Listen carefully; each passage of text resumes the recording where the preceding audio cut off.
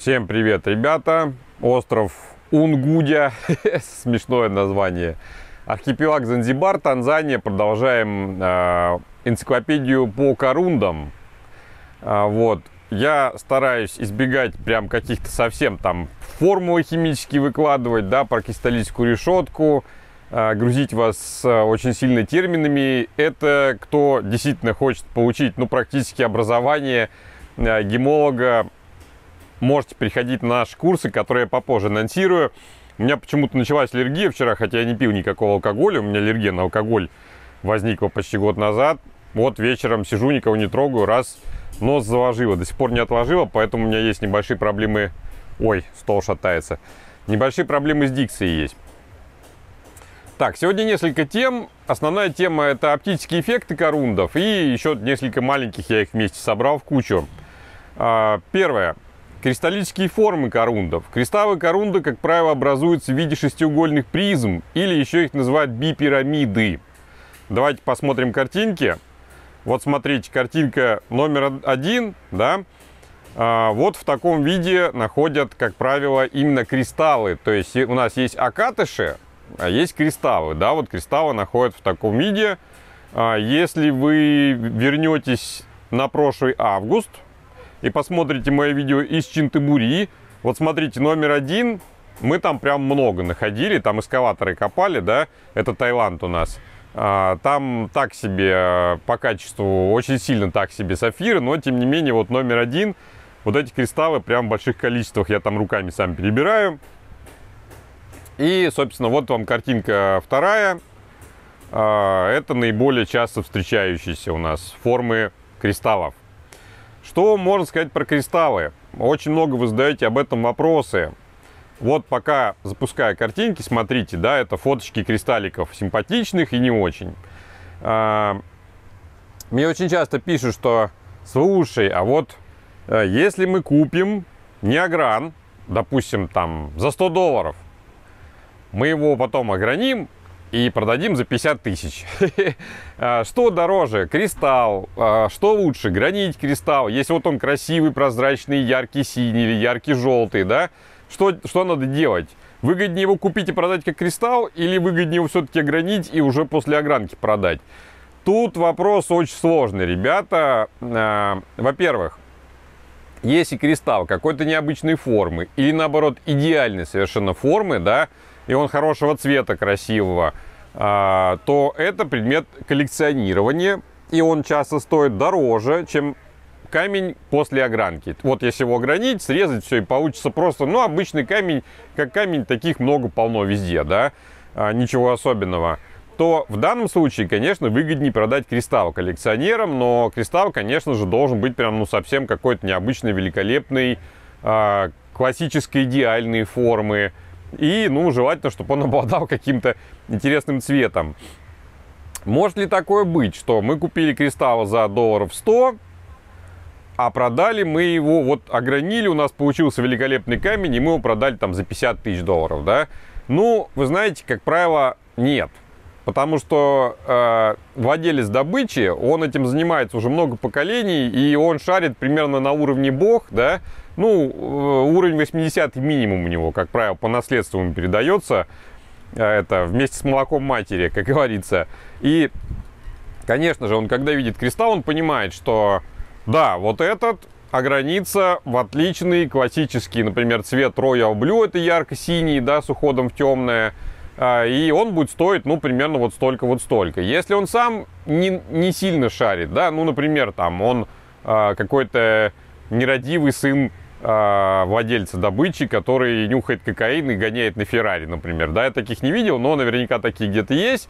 Вот он этот кристалл возьмет и покажет своему огранщику. Огранщик должен шарить. Огранщик ему скажет, слушай, ну примерно, вот сейчас он, допустим, 50 карат, от него останется хороший 8 карат, будет хороший Royal Blue, стоить он будет примерно вот столько-то. А, то есть более-менее опытный огранчик всегда видит камень внутри какого-то кристалла или окатыша. И, ну, к сожалению, тут чудес не бывает. А, если красивый, ярко-синий кристалл продают недорого, то, скорее всего, они знают, что именно вот из этой добычи, если мы его ограним, подрежем, то он станет серо-голубоватым. То есть он потеряет цвет. Да? И, конечно же, владелец это знает. Э, и он может что угодно рассказывать, верить ему не стоит, потому что, ну, э, как бы я уже с этим сталкивался много раз. Поэтому тут как повезет. То есть нет вот четкого рецепта, что мы покупаем сейчас кристаллы по 100 долларов, граним, продаем по 50 тысяч. Э, я, по крайней мере, не, не встречал вот, вот такого веселого бизнеса. я хотел бы, конечно, чтобы это было, но, к сожалению, нет. Кристаллики бывают совершенно разного размера. Бывают прям вот такенные, бывают как зубочистка размером, бывают очень маленькие, тоненькие. И коллекционеры, в принципе, находятся на самые разные, и на плохие, и на хорошие. А, есть кристалл, который, знаете, он, допустим, у него серединка красивенькая, целенькая, а кончики у него там все э, в это, в каких-то пористые, да, например. Ну вот, конечно, этот выгодней все срезать, выкинуть, а сердцевинку, ну, центр, да, огранить и продать какой-то хороший камень. А, так, кристаллы у нас чаще всего попадаются в корневых месторождениях. Это когда гора, ее надо взрывать, добить, добить кувалдами, стамесками и все-все остальное. Ну, например, посмотрите мое видео про Вьетнам, да. А, там мы добывали шпинель из корневого месторождения. И бывают рассыпные месторождения, напоминаю, рассыпные это когда э, эти кристаллы, то есть гора была размыта дождями за миллионы лет, остались эти кристаллы, потому что они твердые, но их потом еще а, вода и смещение почвы катали туда-сюда еще миллионы лет по поверхности, а, по грунту, да, и они, собственно, к сожалению, обточились в такие не, не очень красивые акатыши. Ну вот, смотрите, вам пример акатыша. В прошлый раз я уже вам акатыши показывал. Еще вопрос тоже, который часто задают, когда показываю акатыш, например. Говорят, что Константин, а в какую его выгодно форму ограничить, чтобы он был дороже? А, во-первых, и кристаллы, и акатыши всегда гранятся в такую форму, чтобы потеря веса была минимальной. Вот, чтобы ее вообще практически не было. Не существует какой-то вот формы, где он станет вдруг в 10 раз дороже, и какой-то формы огранки, где он станет дешевле, да. А, цена зависит от веса. Ну вот, я такое сравнение хочу вам предложить. Не знаю, насколько оно правильное. У меня тут кофе со льдом. Всем, кто пьет, пьет кофе, за ваше здоровье, да. Кто сейчас прям пьет кофе. А, я хочу предложить такое а, сравнение. Смотрите, золото. Ну вот оно в крупинках, в самородочках или в слитках.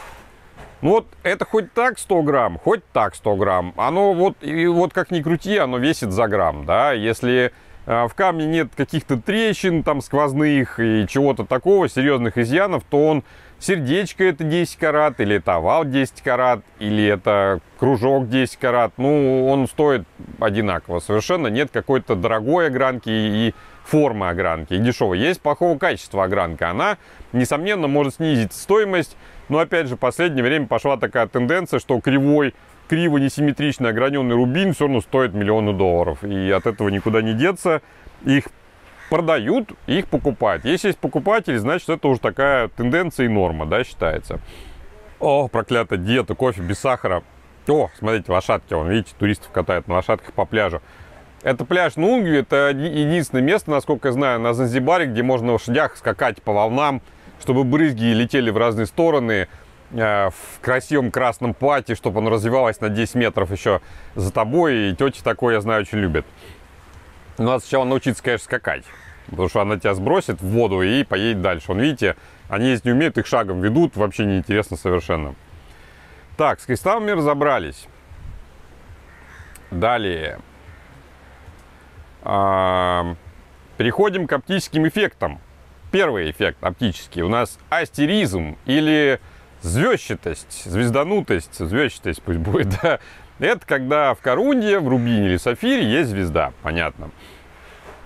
Значит, а какие причины у появления звезды? А, весь камень или определенный участок этого камня, ну, кристалла, акатыша, неважно, да, давайте звать кристалл, неважно, должен быть насквозь в определенном направлении упорядоченно пронизан э, определенными нужными нам включениями. Какие эти включения бывают? Это бывают, во-первых, микроскопические полости Ну, я их зову полые трубочки, мой гемолог говорит, что это неправильно, надо называть полости, да, то есть это просто включение, которое не содержит ничего совсем. Они должны быть обязательно все в одну сторону сориентированы. Э, и они должны быть очень-очень мелкие, их не должно быть видно вооруженным глазом, в лупу их видно. Это касается не только полости, это касается всех включений, которые сейчас буду описывать. Вот, в лупу их должно быть видно, в микроскоп их должно быть видно, глазом, как правило, нет, потому что они слишком микроскопические. Но их много, их должно быть определенное количество на миллиметр, да, тогда они создают вот определенный эффект. Так вот, значит, это, во-первых, полости, во-вторых, это иглы рутила. А, вот, рутил, напоминаю,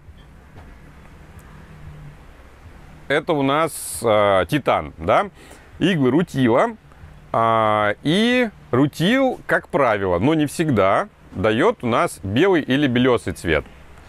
Вот, тут мне принесли десерт. Thank you very much. Десерт подождет.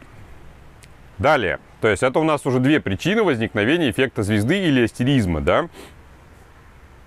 Так, также звезда может быть образована при микровключениях ильменита и или гематита.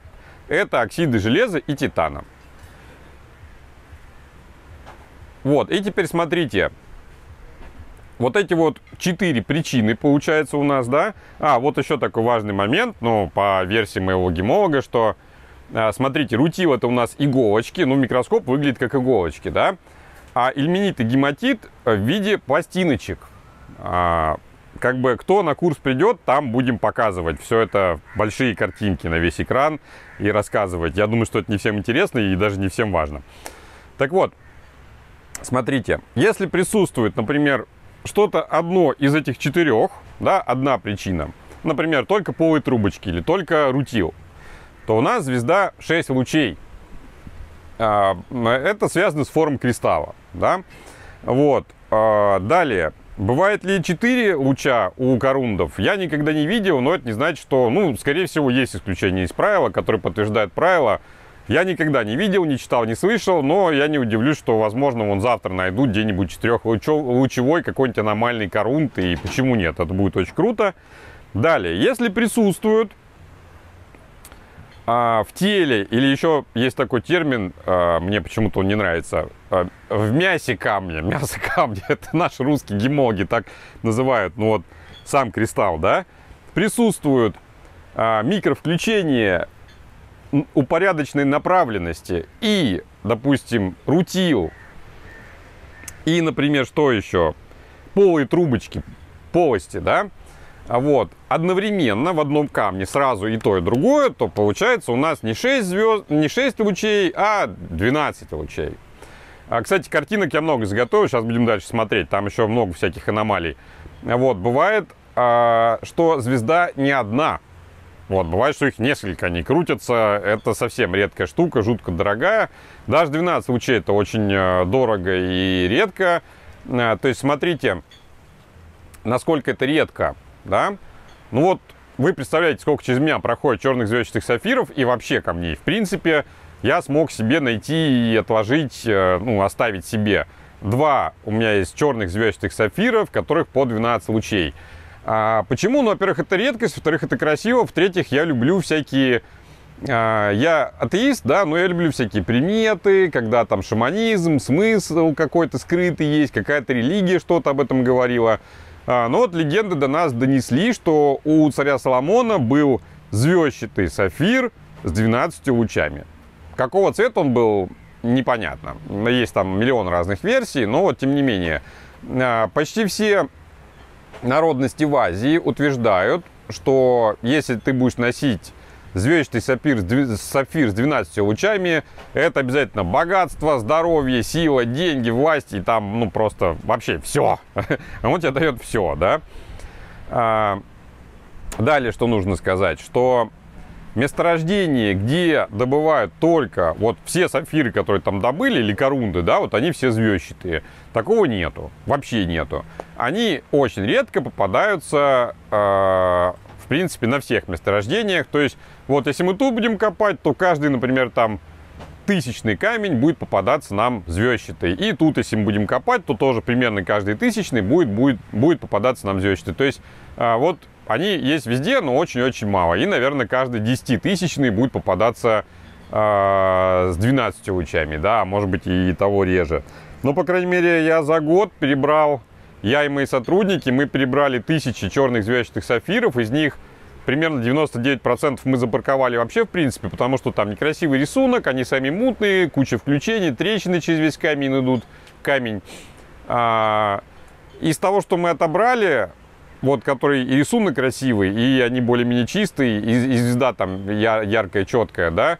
Ну, вот из них было, наверное, 5-6 а, с 12 лучами.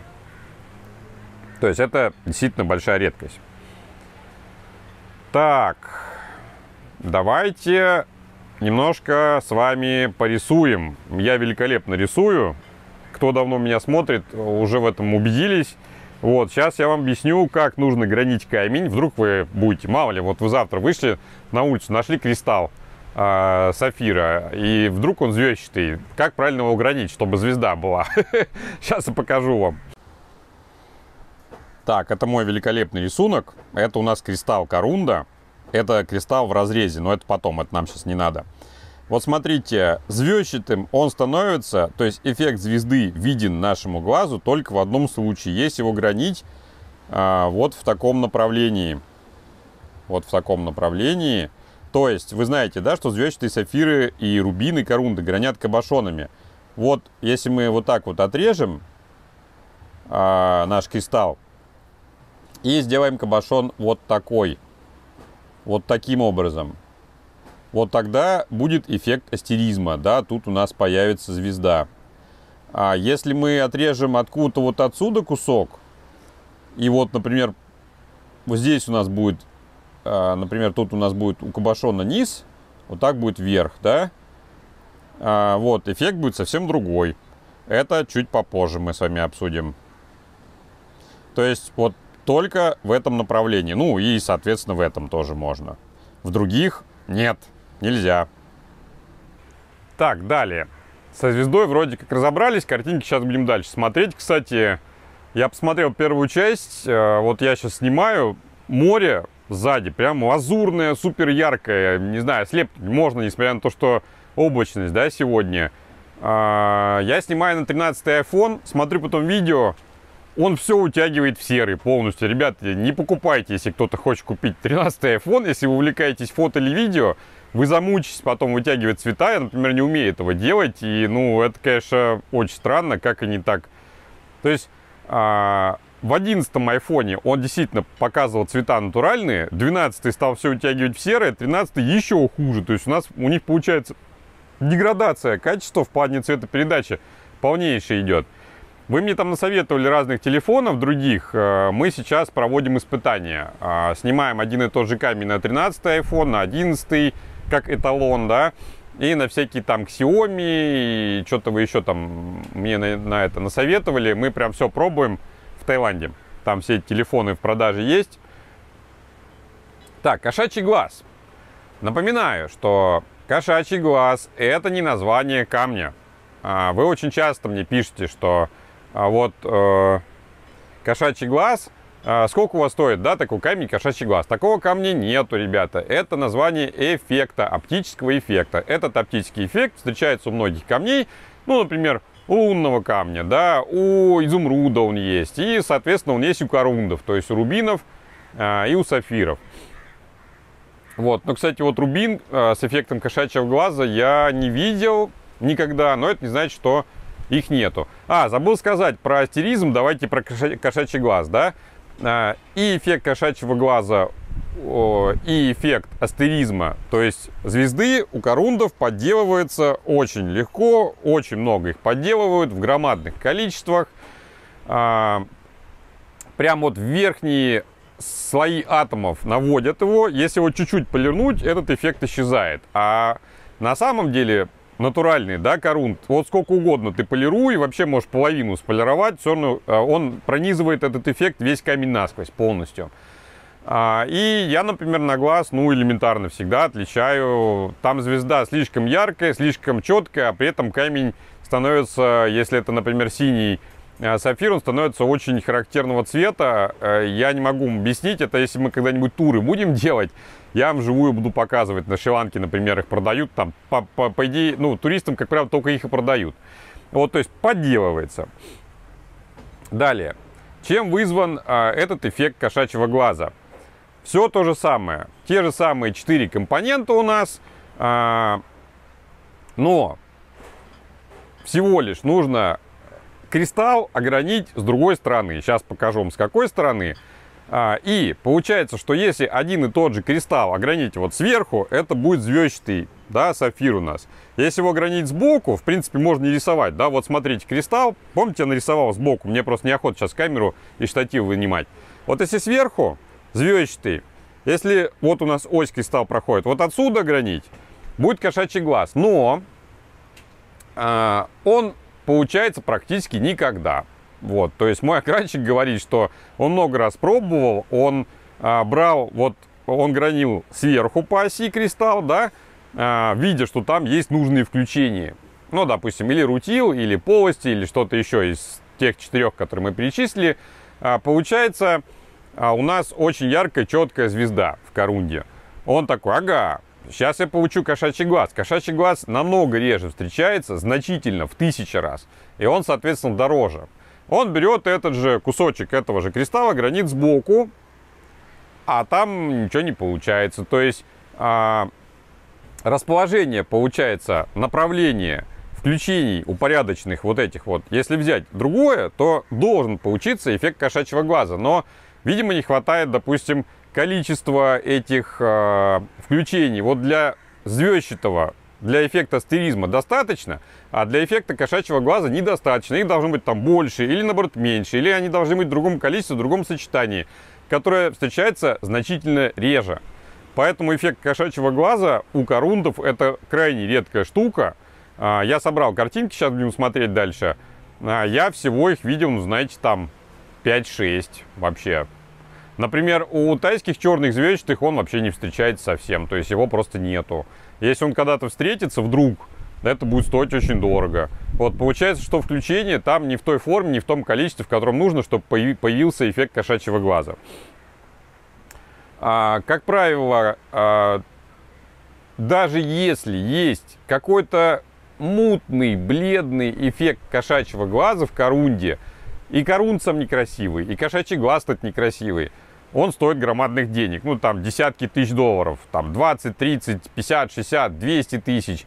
Э, и мне показывали такие, я, ну, смотрел, как бы, и вообще не понимал, за что такие деньги. Оказывается, просто вот за редкость коллекционеры покупают. А, так, с этим разобрались, кошачьим глазом. А, вы все, что вам непонятно, если есть вопросы, вы пишите в комментариях, как к первой части, да, мы потом устроим ответы на вопросы. Так, следующий оптический эффект. А, смотрите, это александритовый эффект. В чем он заключается? Это когда камень при разном освещении дает разный цвет или оттенок. Да, например, на улице он будет у нас а, зеленый, ярко, а, например, пришел я домой, включил желтую лампочку. Бывают, бывают лампочки ярко-желтые, да, не белые, а прям совсем такие, которые в желтизну уходят. Или я зажег костер дома, или свечи, или камин, или там факела какие-нибудь. Мало ли, может, я живу в Саньюком замке. Он у меня стал вдруг ярко-красный. Или, например, там с фиолетового в синий, да, или синего в розовый. То есть, вот это, собственно, называется реверс когда смена цвета, да, и этот эффект он называется александритовым эффектом. А, есть а, ряд камней, которые, у которых встречается, редко всегда встречается этот эффект. Видео про александрит я записывал, прикрепляю, смотрите, кто не смотрел. Так вот, у корундов тоже этот эффект есть, он встречается супер-мега редко. А, связан он всегда с присутствием таких металлов, как хром и ванадий в камне – а, по отдельности или их сочетание в разных количествах, да, присутствие их, оно всегда, оно вызывает, собственно, александритовый эффект. И вот знаете, я сколько раз, ну, вы понимаете, что через мои руки прошли тысячи корундов, да, а, на Шри-Ланке, в Бирме, а, мне показывали такие там, Пс -пс, иди сюда.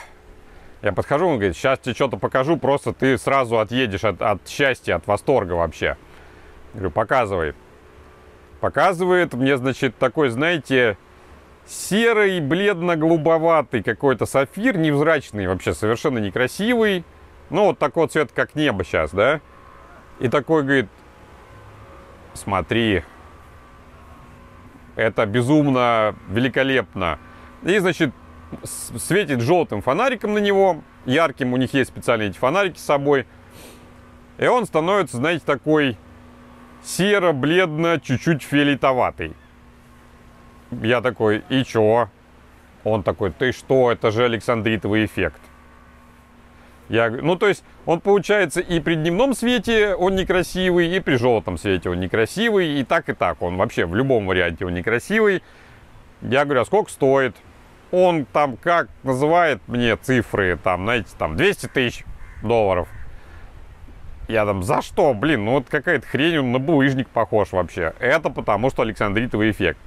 Я, если честно, вообще не понимал смысла, и я был уверен до недавнего времени, что Александритовый эффект у корундов это какая-то а, штука, которая только для коллекционеров, которые вот прям фанаты, знаете, такие там, значит, э, они понимают там какую-то скрытую, видят в этом красоту, потому что, ну, на мой взгляд, ничего красивого в этом нету. И за что такие деньги, я никогда понять не мог. Но вот за всю мою практику, больше 10 лет, а, недавно совсем, буквально месяц назад, в мою мастерскую принесли а, сапфир с супер-мега ярким александритовым эффектом. У него очень крутой реверс. Сейчас а, дальше будем рассматривать картинки, я вам покажу. Возможно, это единственный на мою жизнь. Больше в этой жизни я его и не встречу. То есть а, хороший александритовый эффект, красивый у корундов. Это очень редко, это всегда очень дорого.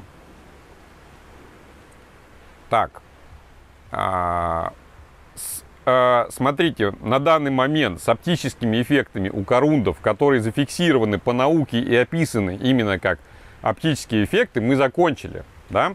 Вот.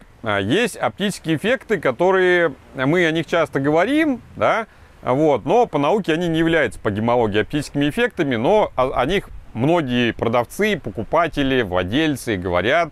Поэтому давайте вот это тоже все обсудим. А, как это по науке называется, правильно, не знаю. Вот, первое. Это неоновый эффект. Я очень часто использую э, так, таки, такой термин, да, что посмотрите, в этом камне присутствует неоновость, неоновый эффект – и все-все остальное. Что это такое? Это когда а, в пасмурную погоду, в полумраке, вот как сейчас, да, я сижу, ну, у меня тут совсем а, пасмурно, а, я достаю, например, сафир или гранат, у меня, кстати, именно такой сафир есть, а он в пасмурную погоду сейчас будет прям гореть, светиться, и он выдает, казалось бы, света больше, чем в него попадает, да, хотя, конечно, по законам физики такого быть не может, то есть это именно что эффект такой.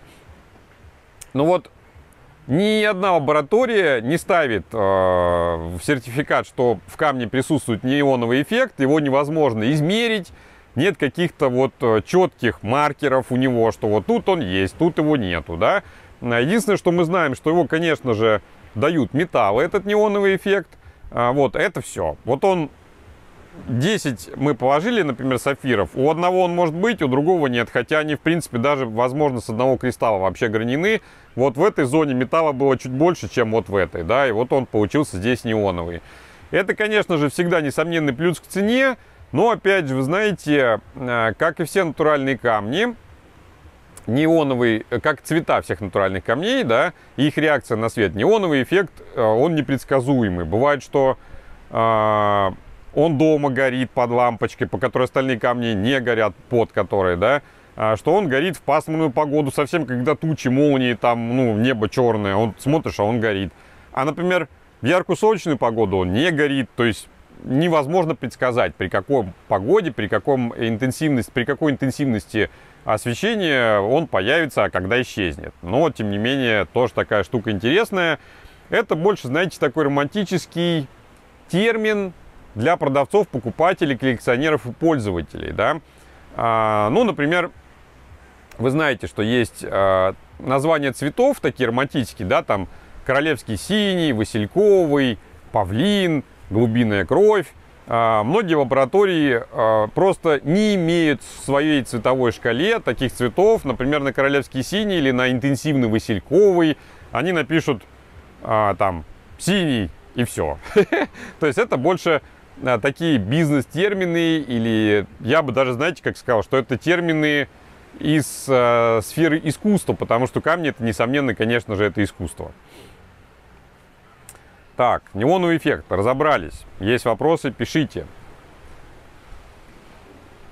Так, э, вот, зоны роста. Очень люблю эту тему, потому что люблю, э, собственно, черные звездчатые сапфиры.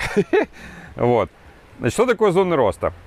Кристалл а, какие-то росли очень медленно, да, какие-то быстро, медленно потом остывали. Это все мы проходили и будем еще проходить, но в процессе роста кристалла менялись какие-то геологические условия, менялась скорость роста и менялось количество хромофоров, которые туда попадали, да.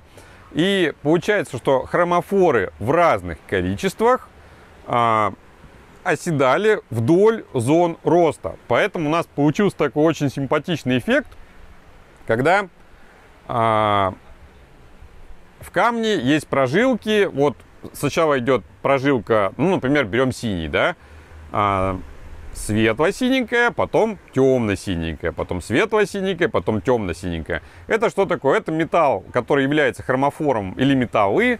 А в данном короде они вот неравномерно легли у нас вдоль, вдоль зон роста. Да?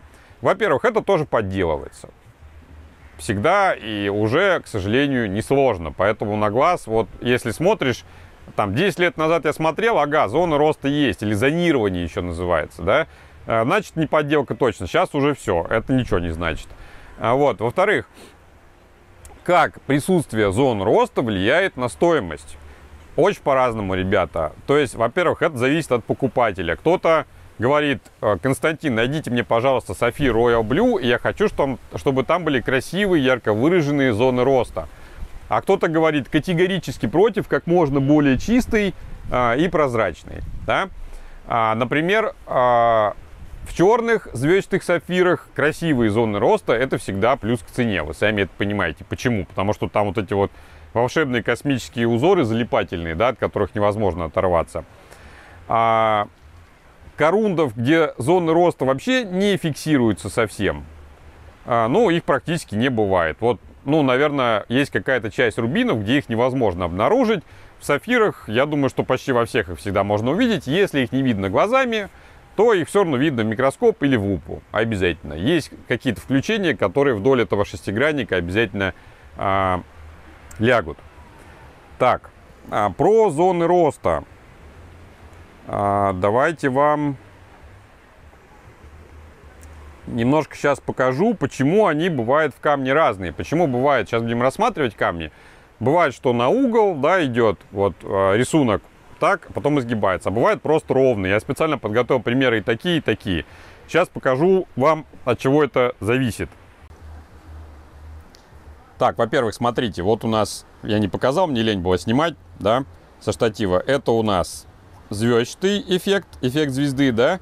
А если гранить вот в этом направлении, вырезать и сделать кабошон вот, вот в, таком, в такой направленности, то, возможно, есть шанс, что тут будет эффект кошачьего глаза. С этим понятно, разобрались. Далее, смотрите, мы взяли а, этот кристалл и вот так вот его разрезали поперечно. Вырезали кусочек, ну, мысленно, да. Вот. И у нас получается вот такая штука, то есть срез. Ну вот он дальше, допустим, так уходит кристалл. Понятно. Ой, извиняюсь, извиняюсь, извиняюсь. Так, придавили. Так вот, почему рисунок в звездчатом сапфире бывает разный? Вот это вот у нас зональность или зона роста.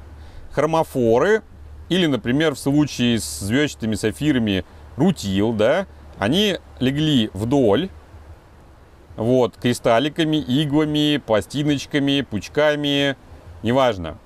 И вот смотрите, мы можем огранить, например,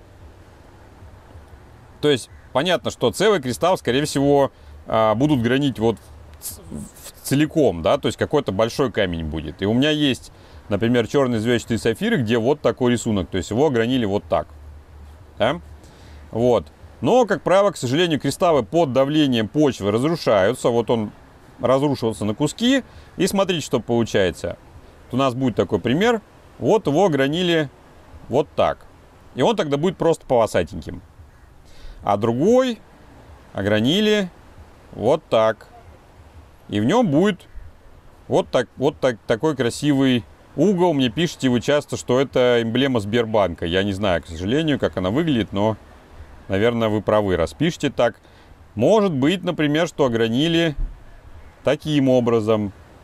Вот так вот, да, тогда в нем будет два излома. Вот здесь и здесь. Тоже красиво. Ну, в принципе, в любом случае, вот для меня это все очень красиво. Так, вернемся обратно. Так, и перед просмотром картиночек моих любимых, а, последний такой момент, ну это не оптический эффект, это, наверное, это включение, да, это, это вид включений. Вот, есть ряд камней, которые имеют э, форму включений, которая называется трапичи. Вот есть трапичи изумруды, и в Бирме есть было, правильно сказать, было. Такое месторождение, называлось оно Монксу, а, там а, добывали довольно интересные рубины. Они интересны нам в двух ситуациях. Первое, смотрите картинку. А, то есть это что такое? Это, по сути, включение застыли. Ну, то есть застыли, они расположились. Не застыли, правильно, а расположились в форме звезды. Да, это видимые невооруженным глазом включения, которые не меняют свое положение. Как ты камень не крути, вот, они там просто застыли. Звезда будет крутиться вместе с камнем. А, Ее видно при любом освещении. Там тусклое, допустим, недостаточно света, яркий свет. То есть э, это штука, которая не является оптическим эффектом. Это форма включений именно.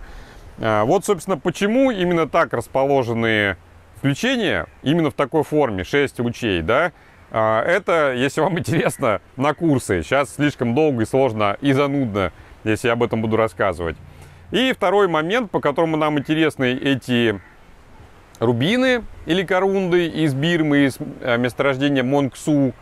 А, это единственное месторождение, где на потоке серийно добывались а, рубины, в центре которых кристаллы, да, в центре которых были синие сапфировые включения. Ну, возможно, я с точки зрения гемологии сейчас неправильно говорю, что это был розовый корунд с синими включениями внутри. И вы представляете, ну, а, довольно обидная ситуация. Ну, во-первых, они были очень сильно трещиноватые, то есть они содержали много-много трещин, да. Но все равно ситуация обидная и интересная. А, получается, что общественность была не готова. Вот сейчас представьте, я бы вам показал рубин, а в нем внутри а, значит, частично сафир, да, ну, красота, редкость, дорого, богато, необычно, ого-го, можно там название придумать романтическое, целый вывести как бренд, да, новый. Ну вот тогда берманцы посмотрели, посмотрели такие, так, ну, все покупают или синие сафиры, или красные рубины, а это какая-то хрень ни туда, ни сюда, что делать? И они очень долго вообще применения не могли найти.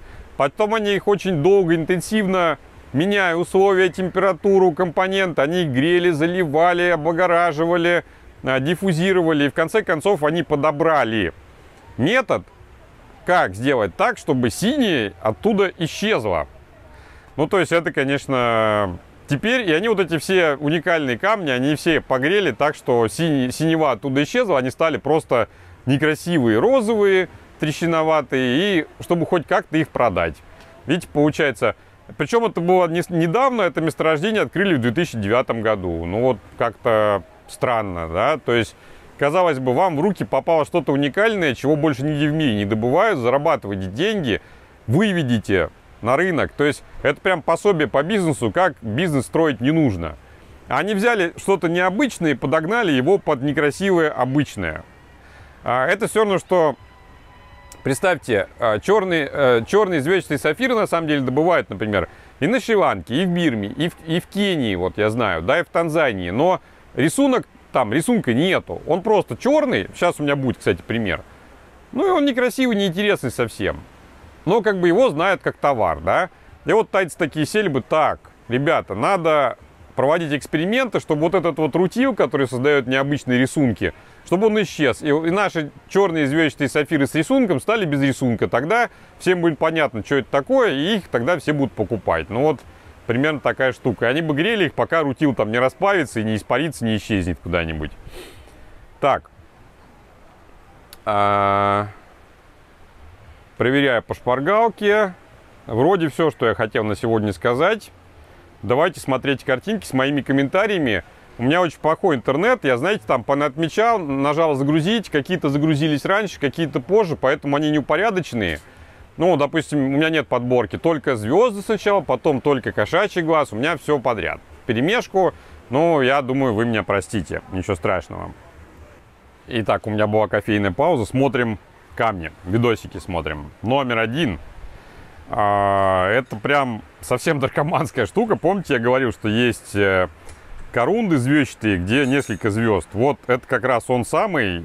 Я могу часами залипать. Причем, смотрите, ребята, это не корунд, это вообще топаз. Вот он такой уникальный, и вот он мне попался. Я извиняюсь за ногти огранщика, ничего с этим не сделать, ему удобнее так работать. И как бы, ну вот, я не могу ему приказать, он работает так, как ему удобнее, потому что он талантливый, я ему разрешаю иметь такие ногти. А, вот смотрите второй видосик, да, то есть тут несколько звезд, у корундов бывает точно так же, но э, у меня, к сожалению, видео именно корунда, в котором несколько звезд, да, нету, то есть это у нас второе видео. Очень залипательная штука, я даже не представляю, сколько будет стоить корунд вот с такими с многозвездчатый. Так, дальше смотрим. Видео номер три. А, значит, смотрите, здесь как раз а, черный звездчатый сапфир. Насколько я помню, я его оставил себе. Возможно, продали, но, скорее всего, я, по крайней мере, я хотел его оставить себе и, скорее всего, оставил. Здесь одна звезда, все стандартно, но я почему показываю? Видите, здесь как раз линии. То есть здесь не на угол, не, не угол, да, а прям именно линии. То есть вы теперь понимаете, с какой части кристалла его выточили и почему именно рисунок вот, почему рисунок именно вот такой. Номер 4. А, это у нас корунд, это у нас сапфир. Здесь две звезды. Но видите, они расположены очень близко друг к другу. И получается такая сдвоенная звезда. Вроде как она одна, но вроде их две. И лучей вроде и 6, вроде и 12.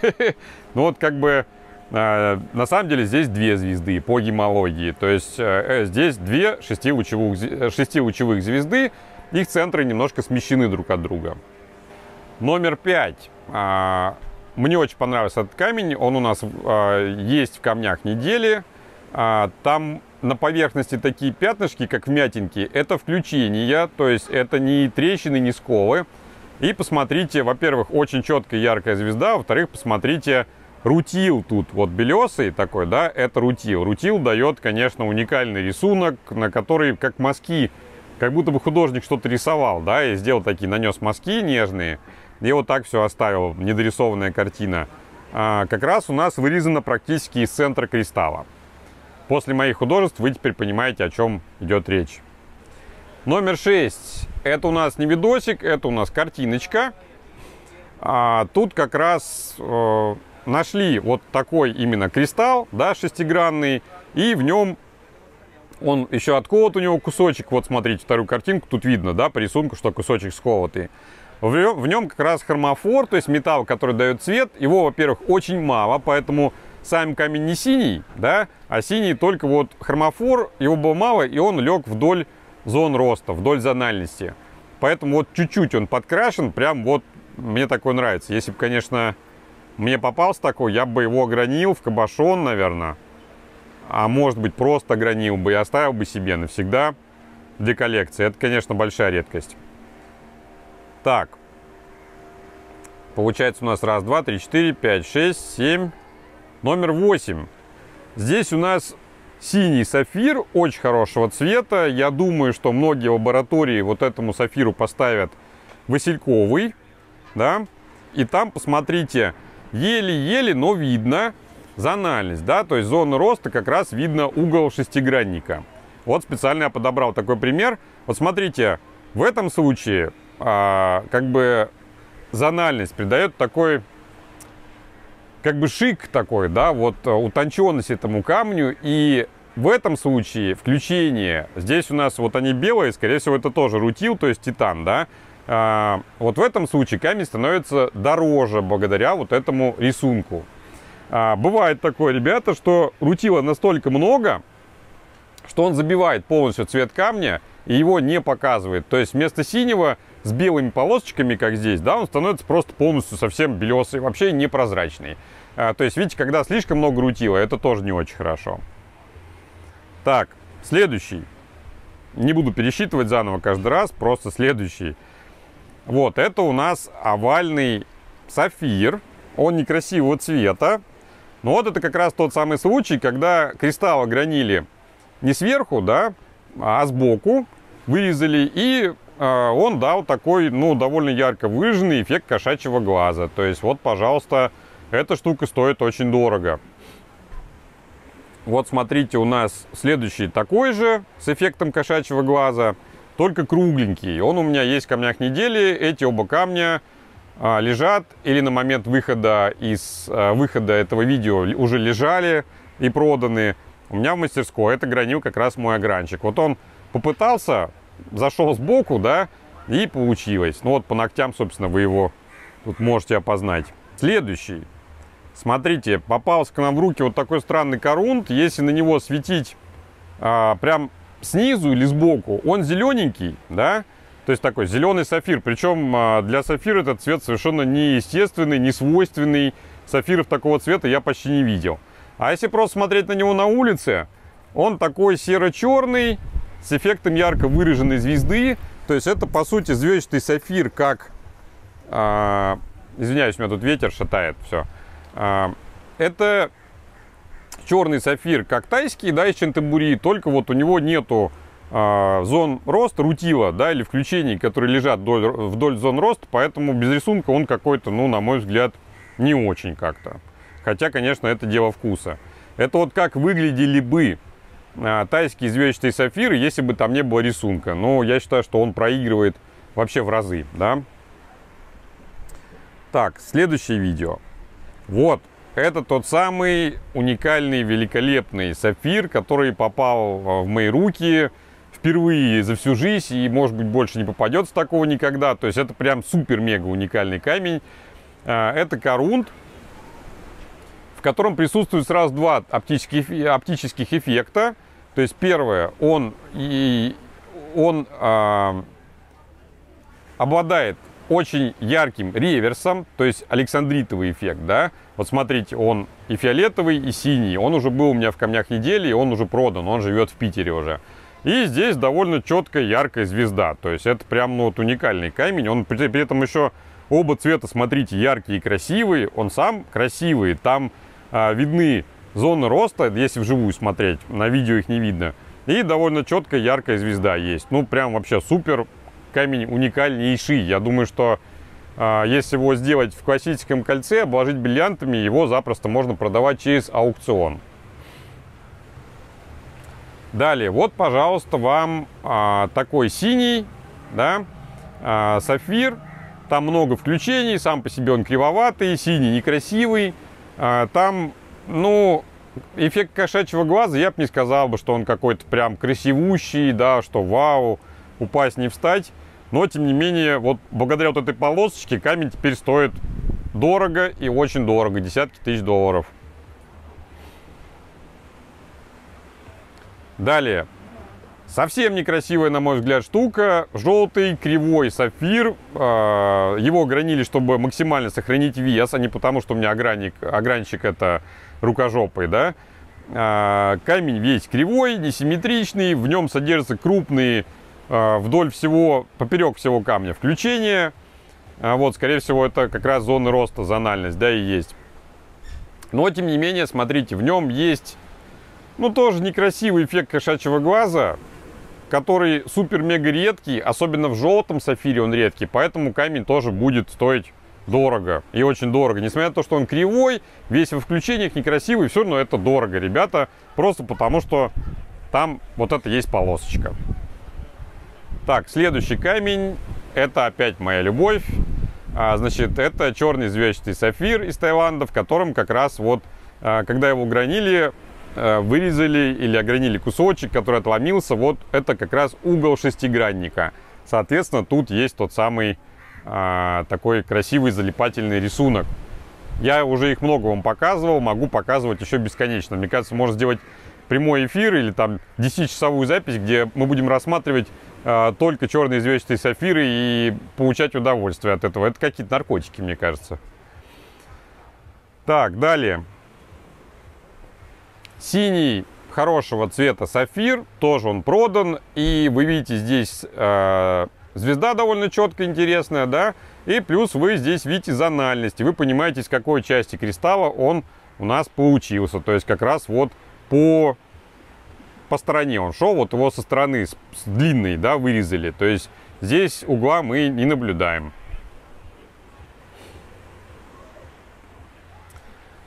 Так, э, я говорил, что зональность крайне редко встречается у рубинов. И вот как раз это тот самый редкий случай, это рубин по сертификату, то есть розовый рубин. Ему не поставили розовый сафир, поставили розовый рубин. Здесь хорошая, четкая, яркая звезда, и здесь у нас ярко выраженная присутствует зональность. А, такие а, белесые у нас а, иглы, вернее, пучки игл. Одну иглу мы глазом не увидим. Это прям там тысячи, может быть, миллионы этих игл проходят.